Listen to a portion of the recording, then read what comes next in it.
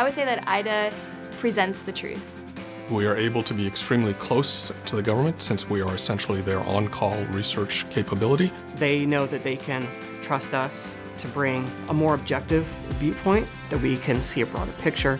It's just an, a really exciting opportunity to just put the facts down.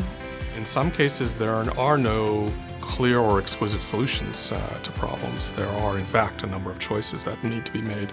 And being able to clarify what those are and the implications of them can sometimes be one of the most useful things we can do.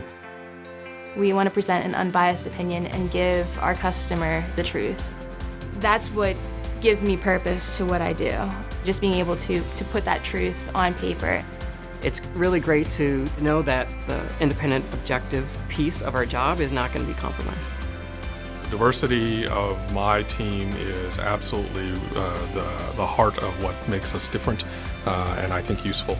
Diversity in uh, backgrounds, diversity in subject matter expertise, diversity in experience, that really allows us to tailor our teams uh, to make sure they're appropriate for whatever project we're working on.